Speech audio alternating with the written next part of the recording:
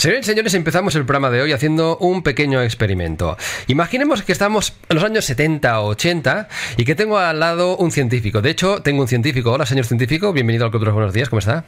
Muy buenos días, Oliver. ¿Cómo Bien- estás? Bienvenido. Pues yo estoy muy contento que esté aquí. Le acabo de decir, fuera de antena, que yo soy un poco friki con esto de la ciencia. Hice cuatro años en un programa de ciencia diario, con lo cual yo estoy ahora pues feliz. Es una emoción que me surge. Un recuerdo, ¿no? Sí, un recuerdo va- va mezclado de emoción y tal. Mira, acérquese un poco más el micrófono. Sí. Que quiera que no, tecnológicamente y científicamente hablando, si se pone más cerca se oye mejor. Funciona mejor. Sí, entonces está bien. Venga, pongámonos, digo, señor científico, en, en la situación de hace mm, 20, 30, 40 años. Imaginemos que usted se llama Richard Davidson, por decir algo. ¿Le suena ese nombre? Me suena, me suena. Levemente, ¿no? Imagínese que yo soy el Dalai Lama. Ujú. Aló, yo Estoy aquí por la mañana haciendo mis... Y, y usted me llama, "Sí, señor, señor Lama. Sí, mire, que querría unos monjes tibetanos para que me los envíe aquí. Para, le voy a poner unos cascos y unas cosas en la cabeza para ver qué tal meditan, ¿no? ¿Se, se imagina usted la situación, no? Que yo soy el Dalai Lama y le doy unos monjes tibetanos para practicar. ¿Le molaría? Mm, sin lugar a dudas. Como científico, sin lugar a dudas. ¿Y qué haría? ¿Qué haría usted, señor científico, con, con estos monjes tibetanos? ¿Vería un poco, por ejemplo, qué, qué pasa por sus cabecitas? Sí, claro, haríamos un, depende de la máquina, pues un electroencefalograma o una resonancia y veríamos pues pues determinadas actividades mentales cómo están cursando. Claro, digo, digo, imagínense, digo, yo les doy estos lamas y le harían un encefalo- encefalograma, un TAC o un sé, de pobre, pobres monjes, ¿no? Pero, pero claro, la cosa sería hacérselo para saber qué está pasando, ¿no? Para saber qué está pasando, pero sobre todo para intentar demostrar que ciertos estados mentales que ellos pueden comentar según su tradición o según Mm. sus impresiones Mm. tienen una base neurobiológica y neurofisiológica concreta. Y eso nos daría, nos ofrecería una manera de objetivarlo, de validarlo y por supuesto de investigar más y de aprender más. Eso es lo que hizo Richard Davidson y en parte lo que también hace ah, nuestro invitado de hoy, que no es Richard Davidson, sino que se llama José Sánchez, a quien hoy le doy la bienvenida al Club de los Buenos Días y le damos un aplauso, por favor. Sí, gracias, gracias. Que es vecino mío, que es la persona que le decía que ha pasado más por el Club de los Buenos Días. No sé si es un honor eso o no. Pero muchas gracias por pasarte de nuevo aquí. Es vecino. A ver si es vecino, vive aquí al lado de San Chinarro City. O sea que, que también y es un placer que, que estés aquí. Igualmente. Empezaba yo el programa hoy así porque hoy en este programa le vamos a poner un poco de base científica a eso que pasa en nuestra cabecita en una semana en la cual vamos a hablar sobre todo de emociones como una de las patas principales, yo creo, de, aprendizaje, de conexión, de tomar conciencia de eso que pasa por en nuestra cabecita, ¿no? La primera pregunta que te haría, que seguro que me respondes poco diferente de lo que la gente se cree, es, ¿existe un cerebro emocional? Cuando alguien dice, "Tú, eh, tienes que conectar con tu parte más emocional, digo, como si la parte relacional no estuviese ahí siempre un poquillo, ¿no? Bueno, tendemos siempre a separar, lógicamente, y nos cuesta mucho más integrar. Pero cuando estudiamos el cerebro, lo que vemos sobre todo es una gran masa hiperconectada, ¿eh? donde no hay ninguna área deslocalizada. Entonces, estrictamente, anatómicamente, decir que hay un cerebro emocional es un poquito arriesgado. Aunque funcionalmente, claro, necesitamos delimitar y explicar pues, que es, eh, una cosa son los pensamientos, otra cosa son los- las emociones, otra cosa es la memoria. Pero mm, lo podemos decir mientras lo sintamos unido al resto del cerebro. Es decir, que tenemos que sentirlo de alguna manera esto. Es pensar que, que todo está interconectado, ¿no? Que de, que de alguna manera que esto es una cosa. Aquí en el programa, y hoy vamos a poner un poco de base científica, hemos ido siempre al ejemplo simplista, ya lo sé, de que tenemos una cabecita donde hemos heredado de nuestro ta ta ta ta ta, ta, tarabuelo esa parte más emocional, más primitiva y tal, pero al final todo al final está más interconectado de lo que pensamos. Totalmente. No es que, oye, mira, es que como se me va la pinza y tengo rabia, pues que está justificado. Es que esto, esto, es así, ¿no? Pero hombre, también tienes una parte racional para ver que eso a lo mejor no sería lo conveniente, ¿no? Es que cuando, por ejemplo, cuando tú sientes una emoción, el hecho de reconocerla eh, o de darte cuenta, ya, por ejemplo, ya está entrando la atención ahí, ¿no? El hecho de sentir una parte de la emoción, por ejemplo, en las tripas o en el pecho, Sí. indica que ya hay una, una información sensorial, ¿no? Que, que- de, la, de la que eres consciente. Si la emoción te provoca salir corriendo, es, ha cambiado tu conducta. Entonces, realmente todo lo que intentemos ver de forma integrada nos va a dar un conocimiento lógicamente mucho más amplio que si lo vemos de forma aislada y buscando la integración. Eso es lo que vamos a hacer hoy. Y esta semana en el Club de los Buenos Días, atención ladies and gentlemen, vamos a poner en neurociencia para explicar qué pasa en nuestra cabecita cuando nos enfadamos, qué pasa cuando estamos tristes, qué pasa cuando nos alegramos y ser conscientes que hay un gradiente, una matización y uno no está en estado de ira puro 100%, sino que puede hacer una preocupacióncilla, que esto sería un 2-3, ¿no? Y, y de qué manera eso puede ayudarnos a qué? A entender esas emociones, a regularlas mejor y a no huir de ellas, supongo que también, ¿no? Porque aquí mucha gente dirá, no, es que yo quiero dejar de sentir esto. Pues entonces es que, bueno, quieres dejar de ser humano, ¿no? Eso es. Yo creo que tendríamos que explicar algo muy, muy básico, pero que se solapa bastante. Y es la diferencia entre emoción y sentimiento. ¿Vale? Dejemos aquí la barbillita. ahí abajo. Ahí tocando. Sí, estupendo. Entonces tenemos una, un, un en, el fondo de las emociones es un procesamiento. Entonces, si ese procesamiento es, es más en respuesta a un estímulo, comienza siendo muy inconsciente y muy intenso, si nosotros desde el cerebro dejamos que eso suba hacia arriba, ¿vale? Empieza en un, en un hipotálamo, amígdala, sube otra, otro lugar que se llama corteza cingulada, otro lugar se llama corteza orbitofrontal y al final llega arriba. Cuando llega arriba es más consciente, cuanto más abajo esté es menos consciente, pero es un continuo. Esto es un, es un camino rapidísimo. Es un camino rapidísimo, como todo en el cerebro que es rapidísimo. De hecho, el cerebro es tan rápido que por un lado es muy bueno, pero para nosotros darnos cuenta de que es un procesamiento, al ser tan rápido no nos damos cuenta, lo vemos como ¡bum! algo que aparece. Pero ha habido un procesamiento. Entonces, esa ese continuo desde la emoción hasta el sentimiento ya nos da una gran pista. ¿Por qué? Porque mañana yo veo una araña, ¿de acuerdo? Y mm. desato una emoción de detección de una amenaza, ¿vale? Que va a ser muy subconsciente y muy reactiva, pero cuando yo recuerdo la araña, el, origen es diferente, ¿no? Es desde arriba, desde mi sentimiento de fobia a las arañas. Entonces, normalmente no, no, nos damos cuenta de algo tan básico como eso. ¿Qué estás generando? ¿Eso que estás generando desde dónde viene? ¿De un estímulo externo emocional rápido y por lo tanto poco consciente o de un sentimiento basado en tu recuerdo? Ya con eso ganamos bastante porque podemos diferenciar cuál es la vía de entrada que ha generado esa emoción-sentimiento. Eso sería yo creo que una, una cosa básica. Y la segunda es la duración que también nos ayuda a entender. Una emoción por sí sola desaparece en 7, 5, 10 segundos. ¿eh? ¿Por qué? Porque su sentido evolutivo responde a eso y nuestro cerebro es muy antiguo, aunque no sea tan adaptado a la vida moderna del siglo XXI. Entonces, si yo mantengo la emoción en el tiempo, normalmente va a ser a través del recuerdo, este que me hizo tal, esta chica que no sé qué, no sé cuánto, este vecino que ta, ta, ta. Entonces lo sigo alimentando, lo sigo alimentando, al final me genera un estado de ánimo. Pero no lo he alimentado porque el estímulo esté presente. La persona ya no está, lo estoy alimentando desde mi recuerdo, sentimiento. ¿Vale?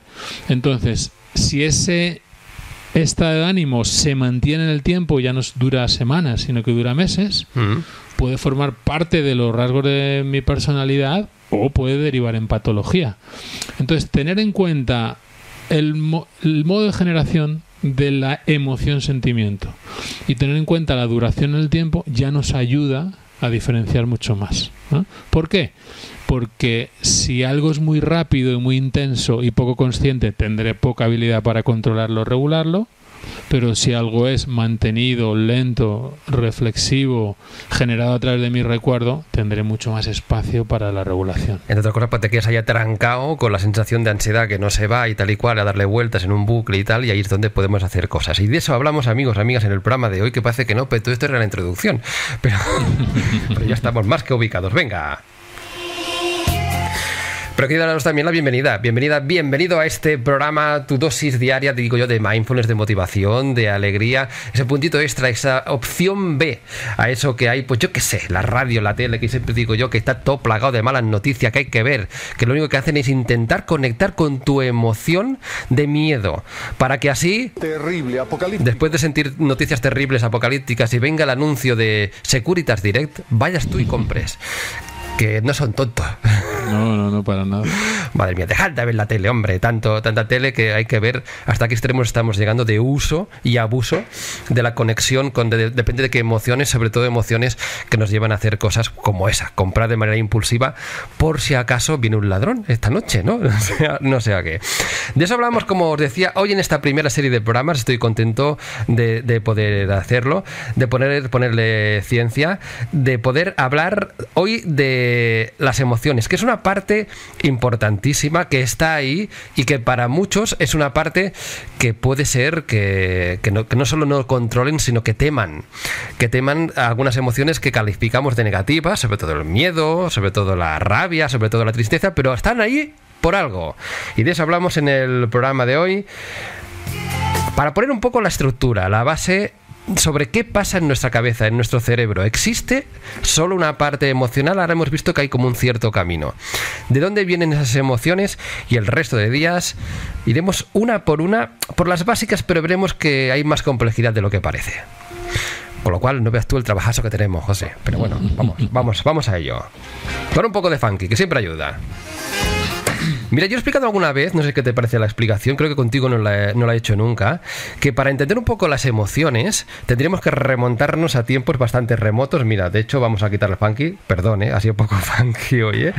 y, intentar irnos a épocas, yo que sé, de las cavernas, que ya sé cómo es un tópico, que tenemos la trompeta de mi abuelo Paco hace unos cuantos miles de años. Y en esos momentos, pues no, que no, había WhatsApp, no había Twitter, pero había otros peligros, que creas que no WhatsApp y Twitter, parece que sean los peligros del momento. Ves a saber tú qué nos van a decir y comunicar. Y en esos momentos, diríamos, de alguna manera, la evolución, por decirle de algo, nos dotó de unas herramientas para hacer frente a determinados peligros. La emoción surge de ahí, de, del hecho de dotar al Homo sapiens primigenio, a mi abuelo Paco, de algo que le fuese útil para sobrevivir. Y gracias a ellas estamos aquí. O sea, sin ellas ni tú ni yo estaríamos aquí. Evidentemente. ¿Sí? Sin lugar a dudas, y no solo al sapiens, sino a, los mamíferos. Es decir, nuestra diferencia con reptiles, anfibios y peces parte de que nosotros tenemos una capacidad lógicamente emocional ¿ah? que vamos desarrollando y los primates, eh, nosotros somos primates, eh, todavía mucho más. Y entonces responde a una mejor adaptación a la supervivencia. Claro, nosotros nos damos cuenta, podemos elaborar y decir, mira, esto que me acaba de pasar es esta emoción, por ejemplo, que esto ya está revolucionado un poquito. El resto de mamíferos no, pero la función es la misma. Ahí no sabemos del todo hasta. Bueno, pero no se podemos preguntar. Claro, no, se lo podemos preguntar. Es, como dicen algún un, neurocientífico dice, ¿cómo se siente ser un murciélago? No es tan fácil la respuesta. Claro, Entonces, ¿por qué? Porque cada vez, mm, sin salirnos del tema, cada vez vamos viendo que mayor número de animales presentan capacidad de autoconciencia. Entonces queda mucho por investigar por ahí. Probablemente en el futuro pensemos, ostras, ¿eh? ¿qué grado de autoconciencia tienen los animales? Pero en cualquier caso, tanto animales como humanos, emoción, que viene del latín emovere y que tiene relación con el movimiento, que es una cosa que cuando algún oyente a lo mejor a hoy lo está escuchando por primera vez, a mí me sorprendió. Porque realmente lo que nos están diciendo es que nos movamos, no que te quedes o que te quedes quieto, pues por si acaso. El león es grande, ¿no? Pero... Claro, hay comportamientos que nos llevan a la congelación, por ejemplo. una respuesta de, miedo puede llevar a una congelación, pero en general significa un flujo, un cambio y una adaptación. Esa adaptación depende de la emoción, tiene una función u otra. Lo que no solemos ver es que esa emoción o esa adaptación suele ser social. Por ejemplo, si yo expreso tristeza, o sea, no solo siento, es que la, emoción también va a ser expresada. ¿De acuerdo? Entonces yo voy a sentir una pérdida y la tristeza me hace valorar esa pérdida. ¿de acuerdo? Y reflexionar, me induce en esa dirección. Pero es que también induce a que otro vea mi cara de tristeza. Y le adelanto sin haber hablado de que, yo ya me siento triste, de que hemos sentido una pérdida. Mm. Y entonces hay un, un, principio de contagio emocional, en ese caso para el grupo, para que todo el grupo sepa que ha habido algo que provoca tristeza a alguien. Y hablamos muy poco en general de esa función comunicativa de las emociones. Claro, ¿no? claro. Y es una pena, porque sin ella. Normalmente se ven las emociones como algo malo. ¿no? Y como. No llores. ¿Sabes? Los hombres no lloran. Tiene, tiene una función social y una función grupal enorme. La alegría lo mismo. Nosotros detectamos una alegría a 25 metros cuando sonríe alguien. ¿Así? Sí. ¿Vale? Si, te- si alguien sonríe de lejos, se no, es la emoción que más se detecta en la lejanía. Espera, un momento, un momento, déjame parar un momento el programa, porque yo creo que estamos ante una información muy importante. es decir, está- me está usted diciendo que si yo voy por la calle, aunque esté despistado, diríamos, o es decir, mi inconsciente, aunque sea un vistazo rápido, ves a alguien sonriendo de mala manera, cosa muy difícil en este mundo, donde todo el mundo tiene cara de, de amargado, ¿lo detecta mi cerebro de alguna manera? Lo sí, por supuesto, lo detecta en milisegundos ¿no? y luego el, el propio gesto visible de la sonrisa ¿no? marca una comunicación que en, pri- en principio incita a la conciliación. Bueno, a ver, después viene Si mi- yo veo a alguien reírse desde lejos, Sí, en principio viene en son de paz, ¿vale? en principio, o eso, o mi Ramona que llamo yo, que es mi mente pensando, está pensando, este se ríe demasiado, algo, algo trama, o Pero algo. eso ya es más sapiens, ¿eh? Si pensamos en los mamíferos, Claro. esa, esa conducta donde se expresa esa alegría, ¿vale? Eh, en principio predispone al grupo y a la conciliación del grupo. Es una función comunicativa de las emociones. En mi función comunicativa de conciliar esta entrevista, permíteme que tire Sí. un poco para atrás. Estamos hablando de emociones que surgieron de manera evolutiva en algún momento para tener una mejor adaptación, Sí. una supervivencia. De ahí que tenemos... Vamos a ser simplistas, ya sé que es muy Sí. simple, ¿eh? pero vamos a empezar por, por clasificar las emociones en las que se dicen básicas, aunque después estos días iremos un poquito más allá. Para entender, mi tatarabuelo Paco, si empezó a tener miedo, ese miedo, esa emoción que surgió en algún punto del cerebro, porque, pero que- porque captó algo con los sentidos, provocó que algo en el cuerpo. Es decir, el camino que estábamos diciendo es, detectas algo con los sentidos, un- un- lo oyes algo, cuidado, o, o directamente, hombre, a ver, si oyes, por ejemplo, esto, que es un león, pues ya directamente va a una zona mm, de acceso rápido, diríamos, del cerebro, podríamos decir así, y provoca algo en el cuerpo, antes, antes de que tú razones, diríamos, ¿o no? Por supuesto, claro. Es decir, mm, si tú vas corriendo por el parque ¿ah? Sí, y, sí, y oyes en, en un arbusto por la Sí. noche un ruido, Sí, sí. tu cuerpo reacciona. Tu cuerpo, tu cerebro le da una señal al cuerpo que es que es un principio del miedo, por así decirlo. Ese procesamiento que decíamos antes es un Sí. inicio del miedo. No es Sí. miedo todavía, es detección de amenazas. Sí. Pero bueno, es un inicio del miedo. Cuando pasa un segundo, ya puedo pensar, era una liebre. ¿Vale? Pero primero te ponen alerta. Pero primero me ponen alerta. ¿Y en esa alerta qué va a ocurrir? Pues que se activa un simpatismo, que se para el digestivo, que se para el sistema sexual y que me predispone a la lucha, a la huida o a la congelación. Porque de alguna manera tu cerebro está entendiendo que si hay un peligro, no es lógico ponerte a reproducirte, por ejemplo, ejemplo. o que no es lógico O digerir la comida. digerir la comida. De ahí cuando dice, es, es- con perdón, ¿eh? dice estoy cagado de miedo, esa expresión que es curiosa que se diga eso. ¿no? Es como es evacúa, que hay animales que, Sí. que tienen miedo y lo primero que hacen es evacuar. Esto para Sí. correr mejor o algo, o, o, pues yo qué sé. Bueno, eh, ahí hay un, un- tendría que ver con el digestivo, pero Ya, ya. lógicamente nos prepara, nos Claro, prepara a- para la posible amenaza. para, para- para, enfrentarnos a esa posible amenaza que va a ser o luchar contra esa amenaza, ¿vale? Pelear, Claro. o bien huir. O en el peor de los casos, si no puedo hacer eso, congelarme para no sufrir o no sentir. Te imagínate que queremos luchar. Imagínate que mi tatarabuelo Paco, que ya te digo yo que no, porque yo creo, hace, hace mm, ah, unos meses est- estuve, conocí y estuve conversando con Ronald Siegel, no sé si lo Ah, conoces. sí, Y, y él decía, dice, que sepáis que todos somos ah, hijos de gente que, es- que, es, ma- que fue más bien cagailla. ¿Por qué? Porque efectivamente los supervivientes son los que huyeron del león, no los que hicieron frente a él. Porque los que hicieron frente, ¿por qué pasó? Porque el león se los comió. Entonces, y de ahí la tendencia que tenemos a detectar peligros, ¿no? Y pues que tenemos una tendencia de, ah, bastante exagerada, ¿no? De detectar peligros por todos lados. Que fue muy bien hace un tiempo, pero ahora, mm, pues, Lo que pasa es que el cerebro, con, y según ha ido evolucionando la cultura, lógicamente utiliza, no puede empezar desde cero. Utiliza recursos disponibles Sí, que ya estaban en el pasado. nuestra reinterpretación de los peligros hace que se active esas áreas y esas y esa ese tipo de respuesta que data de un tiempo antiguo. Pero para nosotros, es un, lógicamente, el peligro de perder el trabajo es el mismo que el de. El dolor de perder el trabajo es el mismo que el. O el peligro de perder el trabajo es el mismo que el de perder el. Cuando ves al león, el peligro que sientes al ver al león.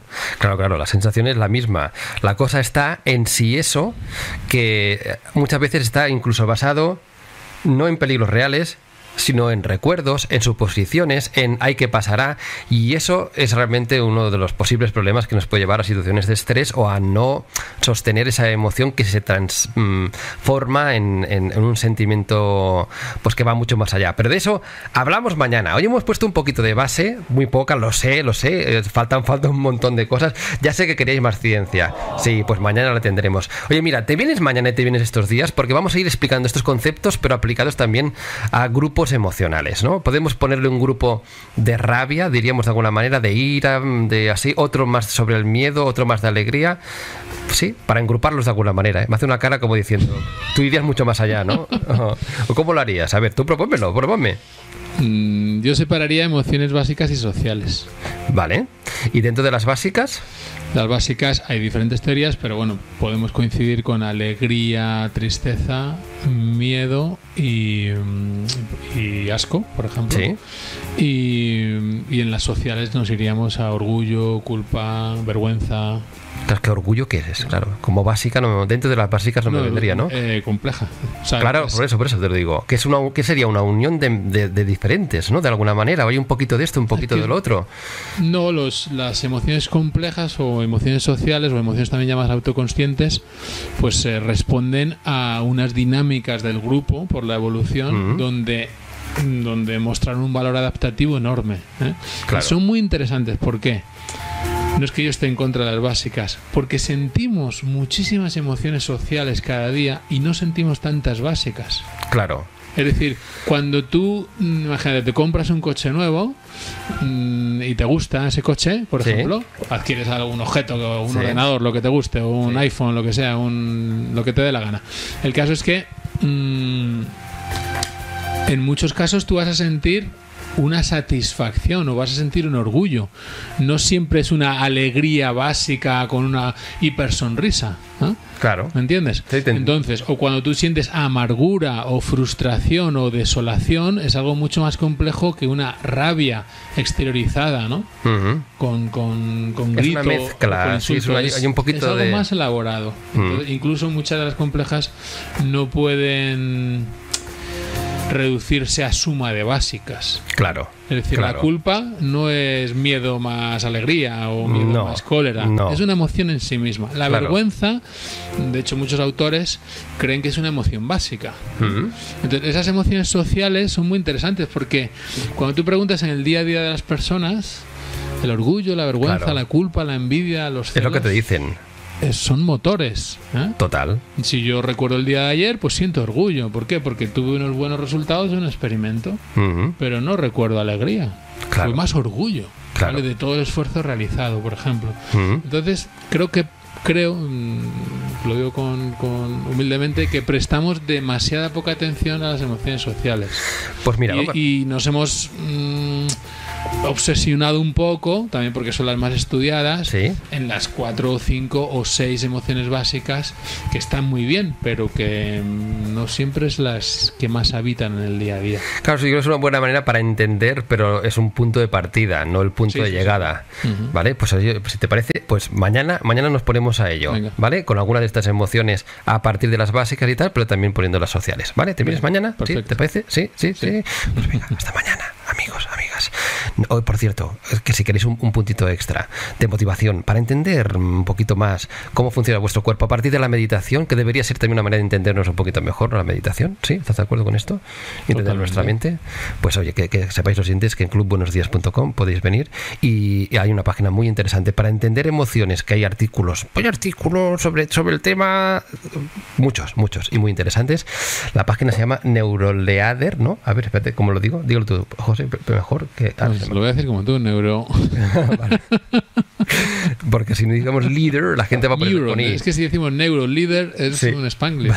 Pero hay que decir neuro leader. Entonces, Neuro, neuro, guion, neuro slash leader, neuro guion leader.org. ORG. Si no ponéis José Sánchez. y lo buscáis.